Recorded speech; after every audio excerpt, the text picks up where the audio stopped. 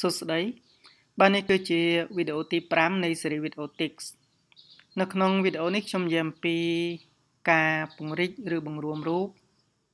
ការតាំងចំណុចដល់ប្រើ coordinate polaire ការសង់ធ្នូនៃរង្វង់និងចំណុចផ្សព្វបាទរវាងបន្ទាត់ដេកនិងបន្ទាត់ឈរបាទហើយផ្សំជាមួយនឹងអ្វីដែលបានបង្ហាញនៅក្នុងវីដេអូទី1ដល់ទី4គឺយើងអាច បាទអាចសង់រូបបែបនេះបានបាទឥឡូវខ្ញុំលើកយករង្វង់ត្រីកោណមេត្រមួយនេះជាឧទាហរណ៍សម្រាប់វីដេអូទី5បាទអញ្ចឹងខ្ញុំចាប់ផ្ដើមពីការសង់អមុនអញ្ចឹងដោយសាររង្វង់ត្រីកោណមេត្រកម្មវាមួយឯកតាអញ្ចឹង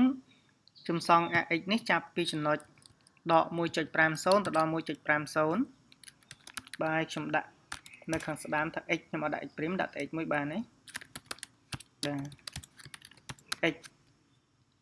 AY នេះចឹងដែរខ្ញុំដាក់ខាងលើ note about y បាទខ្ញុំដាក់សញ្ញាព្រួញ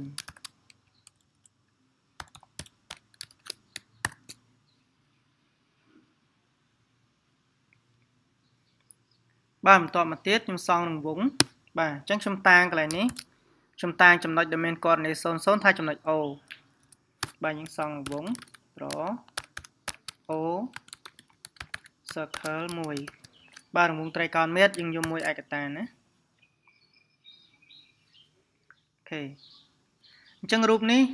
បាទរង្វង់នេះកាមវាមួយឯកតាអញ្ចឹងតូចអញ្ចឹងបើយើងចង់ពង្រីកឬបង្រួមរូបហ្នឹងយើងអត់អត់សង់ឲ្យធំយក4ឬក៏5ឯកតាអញ្ចឹងនាំឲ្យមានការលំបាកនៅក្នុងការប្រើ coordinate នៅពេលដែលយើងសង់រូបពេលយើងត្រូវការប្រើចំណុចផ្សេងផ្សេងទៀតនាំពិបាកច្រើនអញ្ចឹងយើងអាចពង្រីក ដោយបន្ថែមបាទជំរើស scale បាទនៅលើនៅក្នុងបន្ទាត់ទី1នេះណាកន្លែង begin text picture នេះបាទ scale ស្មើឥឡូវខ្ញុំយក3.5ចាស់មានន័យថាយើងយកទំហំដើមគុណនឹង3.5បាទបាទអញ្ចឹងរូបយើងធំជាងមុនបាទអញ្ចឹងតកតងមួយការពង្រីករូបនៅក្នុង text picture នេះគឺវាមានលក្ខណៈពិសេសទាំងថាយើងពង្រីកមិនក៏ដោយគឺ អត្ថបទកម្រាស់បន្ទាត់នេះគឺវាអត់ដូរទេវានៅដដែលវាគ្រាន់តែពង្រីករូបនេះឲ្យធំជាងមុនបាទអញ្ចឹងអត់ដូចរូបថតទេរូបថតកាលណាយើងពង្រីកទៅវារីកទាំងអស់នេះអត់ទេណាបាទវាមានភាពងាយស្រួលអញ្ចឹងបាទឥឡូវយើងសង់អសង់នឹងវងហើយឥឡូវខ្ញុំដៅចំណុច P មួយនៅលើរង្វង់នេះបាទចំណុច P លើរង្វង់អញ្ចឹងចំណុច P នៅលើរង្វង់នេះបើសិនជាយើងចង់តាំងជាលក្ខណៈ coordinate data ដូចចំណុច00នេះវាវាពិបាករកកន្លែងហ្នឹងណាអញ្ចឹងយើងប្រើ coordinate មួយទៀតគឺ coordinate polar អញ្ចឹងខ្ញុំចូលកន្លែងតាំងនេះ radal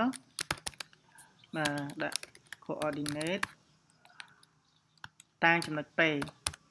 បាទអញ្ចឹងចំណុច P ខ្ញុំជ្រើសរើសយកកន្លែងនេះបាទខ្ញុំយកមុំនេះបើក40ដឺក្រេបាទអញ្ចឹងយើងប្រើ coordinate polar យើងដាក់កន្លែងនេះ40.2 1 បាទមានឲ្យចំណុច P ស្ថិតនៅលើរង្វង់ដែលមានកម្មមួយឯកតាហើយយើងបើកមុំ40ដឺក្រេនេះបើកមុំនេះ40ដឺក្រេបាទបាទឥឡូវខ្ញុំតាំងចំណុច P ហើយឥឡូវយើងឧទាហរណ៍ថាខ្ញុំគូសពី O ទៅ P ភ្ជាប់ដល់អង្កត់បាទនេះណាបាទចំណុច P នេះឥឡូវខ្ញុំបន្ថែមទៅលើ P នេះតិចចុះ ដាក់ bullet មួយហើយបន្ថែមខាងស្ដាំពេបាទបាទនៅត្រង់ O នេះខ្ញុំបន្ថែមចឹងដែរ note bullet note ដាក់ ខាងក្រោមជាងខាងឆ្វេង below left អូបាទ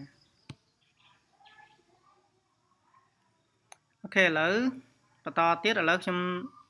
បាទខ្ញុំគូសធ្នូនេះមួយ បាទគូសធ្នូនេះដាក់ថាមុំ alpha អញ្ចឹងចំណុច P មិញយើងបើកមុំ40ដឺក្រេអញ្ចឹងយើងប្រើ command draw ដែរ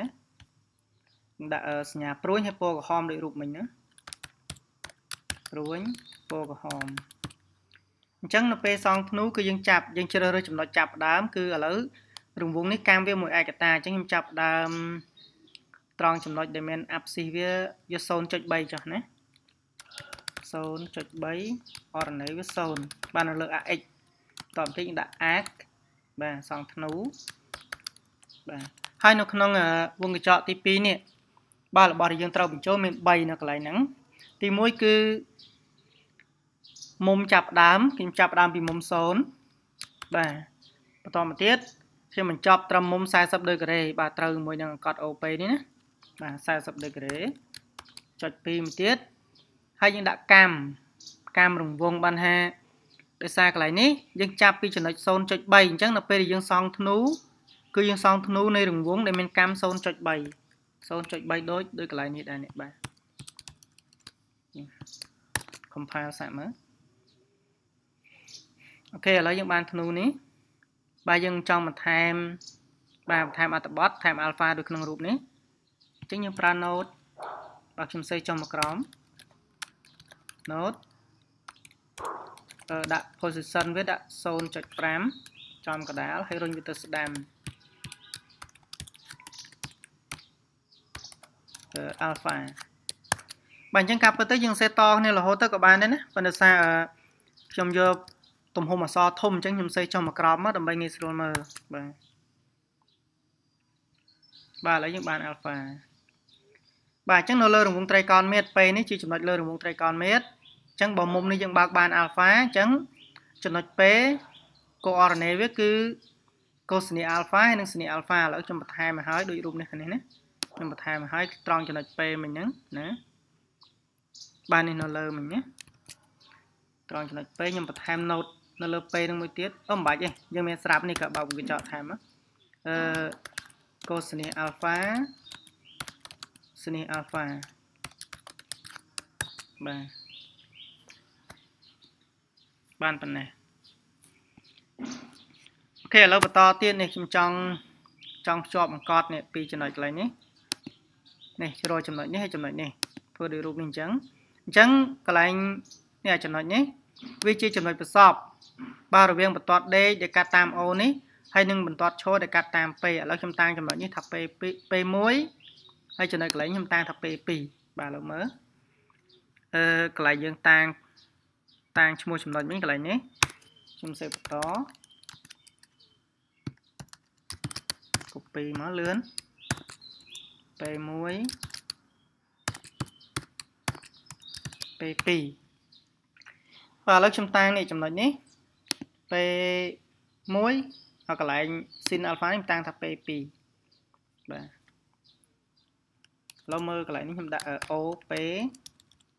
o p អញ្ចឹងពេល1ខ្ញុំយកពេល1ជាចំណុចប្រសពរវាងបន្ទាត់ឈរដែលកាត់តាមពេលហើយនិងបន្ទាត់ដេកដែលកាត់តាម o អញ្ចឹងយើងសរសេរអញ្ចេះបន្ទាត់ដេកកាត់តាម o យើងដាក់សញ្ញាដកមួយមកលើលើ keyboard សញ្ញាដកហ្នឹងហើយនឹងរបាប្រឈរមួយក៏នៅលើ keyboard ដែរបាទអញ្ចឹងសំណេរកន្លែងនេះមានន័យថា វាជាចំណុចប្រសពរវាង បន្ទាត់ដេកដែលកាត់តាម O និងបន្ទាត់ឈរដែលកាត់តាម P នេះកន្លែងនេះណាកន្លែងនេះអត់ដូចគ្នាដែរ P2 P2 ខ្ញុំយកកន្លែងនេះជាចំណុចប្រសពរវាង បន្ទាត់ឈរកាត់តាម O និងបន្ទាត់ដេកកាត់តាម P ចឹងបន្ទាត់ឈរកាត់តាម O បន្ទាត់ដេកកាត់តាម P ចឹងយើងបាន P1 P2 បាទឥឡូវ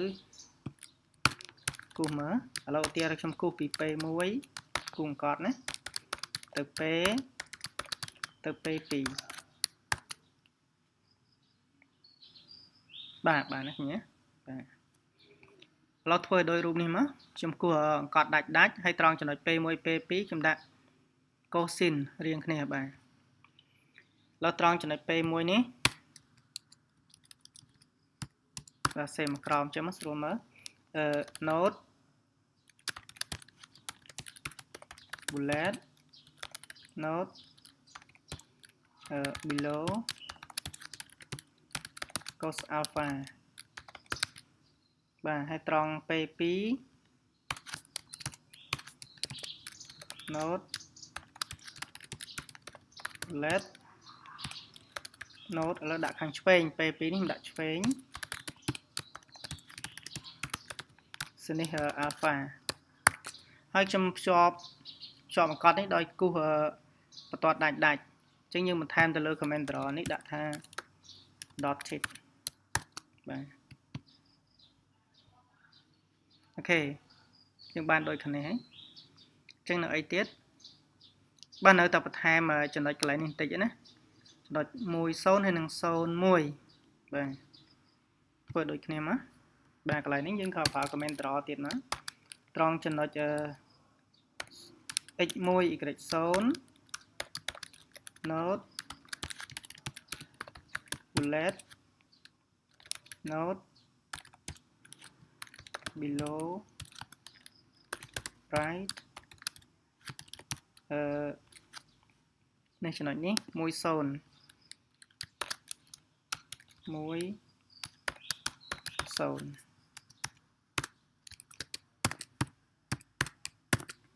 ហើយត្រង់ចំណុច01លើនេះបាទ 01យើងដាក់ខាងលើជាងខាងស្ដាំ about right 01បាទចំណុចក្បៀសអូខេអញ្ចឹងអាចសង់រូបនេះបានទេបាទបាទអញ្ចឹងខ្ញុំបញ្ចប់វីដេអូនេះត្រឹមប៉ុណ្ណឹងបាទចាំជួបគ្នានៅក្នុងវីដេអូក្រោយទៀតបាទអរគុណច្រើន